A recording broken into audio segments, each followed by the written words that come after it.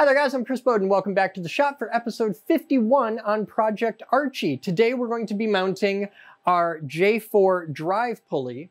You will need your XL 10 tooth 6 millimeter bore drive pulley, and you'll need a pair of M3 4 millimeter long set screws. I use the term set screw and grub screw interchangeably because so does industry, and just, just get used to that. You'll have two little pulleys left at this stage. You want the smaller one, just to be sure. So as you look at the motor shaft, you'll notice it's not round. It's actually, as we look down on it, you can see it's a D-shaped. It's got a flat spot. So on your pulley, you'll notice there's two different holes in it. You want to line one of those holes up to the flat spot.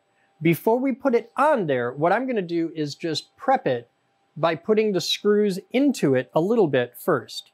And we've done this in other steps. You know the rules. Don't run it all the way down. You don't want to be able to see any of the grub screw inside the pulley because if you do, it won't slide onto the shaft. But by doing it this way now, when you can hold on to everything, it might help reduce your chances of having to fight it when it's on a machine or worse yet, drop one of these tiny little screws on the floor because if you do, well, you better hope you have like a really hard, smooth floor that's absolutely clean and painted white and a metal detector.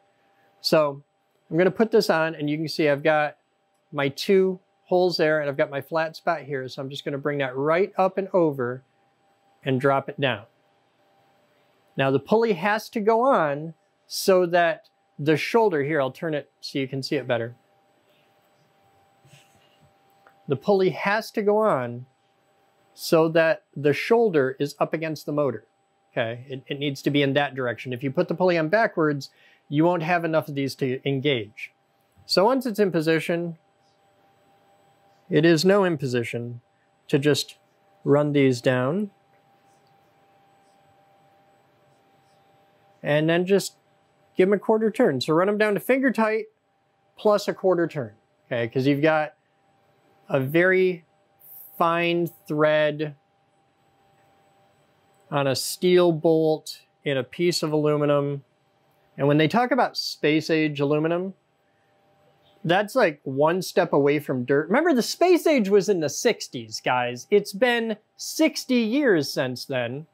So space age aluminum really isn't all it's cracked up to be. It's great to work with for stuff like this. It's awesome. It's light. It's easy to machine, but it's not ridiculously strong and it's very easy to strip out threads. So finger tight plus a quarter turn. That's all you get. And now it's on. It's good. It's mounted. It's wonderful. And when we come back, we're going to get a drive pulley on it. And before we come back, I'm going to take a minute, loosen that, and smack it down a little bit further because it's still not quite where I want it. So yeah, but you get the idea. You guys have fun. I'm Chris Boden, and as always, we'll see you next time.